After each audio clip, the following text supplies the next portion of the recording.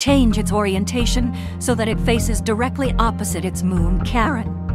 The interesting thing is that the heavy weight of this ice, combined with the gravitational pulls from Charon, caused Pluto to tilt and align the basin more closely with the gravitational axis between Pluto and Charon. This shift probably caused the surface of Pluto to crack and created those enormous faults that zigzag across the planet. The basin originally formed to the northwest, closer to Pluto's north pole.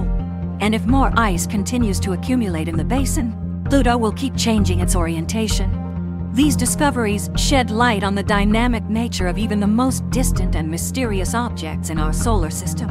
But there is still a lot of mystery surrounding Sputnik Planitia. The mystery of Sputnik Planitia.